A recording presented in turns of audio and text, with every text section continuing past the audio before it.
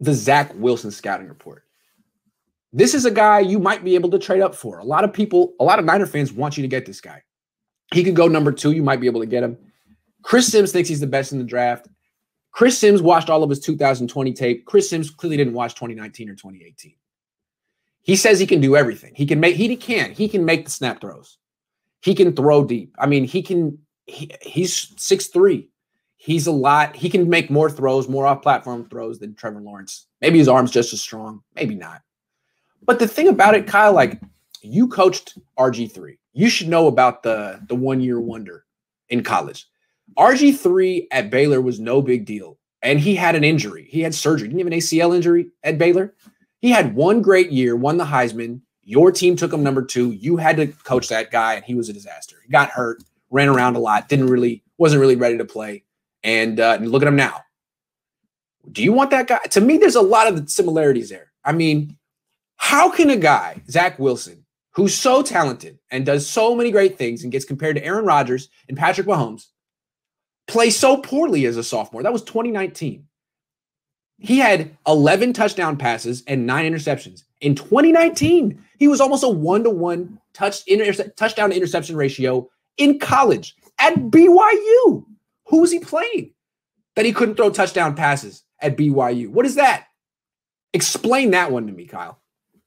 I mean, it's not it's not going to be your your problem here, but that's a really bad or not good sophomore year for and then he has his awakening and learns how to play the position gets a lot stronger works out with tom house whatever and mr miyagi just has he does like one of those montages where he like learns to play the position and discipline at the same time and he's on the beach and he, you know it takes him about 30 45 seconds to learn how to play quarterback boom 2020 hits and he's really good all of a sudden yeah maybe that maybe it was the montage maybe it was the mr miyagi wax on wax off or maybe it was the pandemic the schedule was cupcake.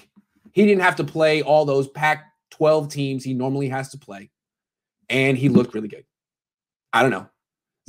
Kyle, do you really want to, would you really trade up for a guy who's had one good year in college? He wasn't even good in 2019. He wasn't even good in 2019. If you just look at the 2020 tape, you're like, man, this guy is Aaron Rodgers, Patrick Mahomes. He's everything. But he's playing seven on seven football. His offensive line is terrific.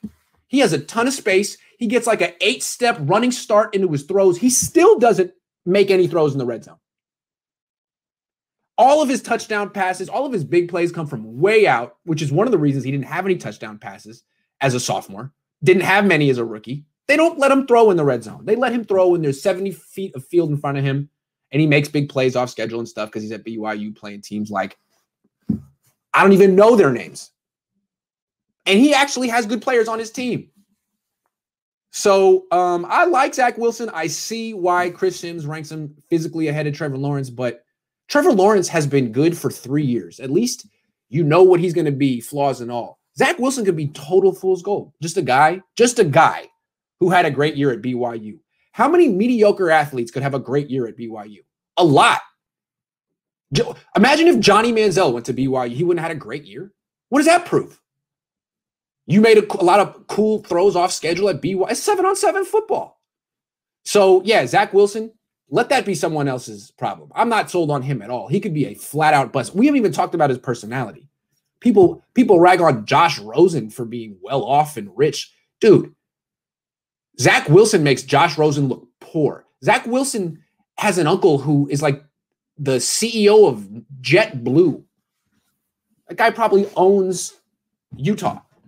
So, uh, I I don't think you want to go into business with Mr. Wilson, but that's going to be Robert Saleh's uh, treat. That'll be his little little gift.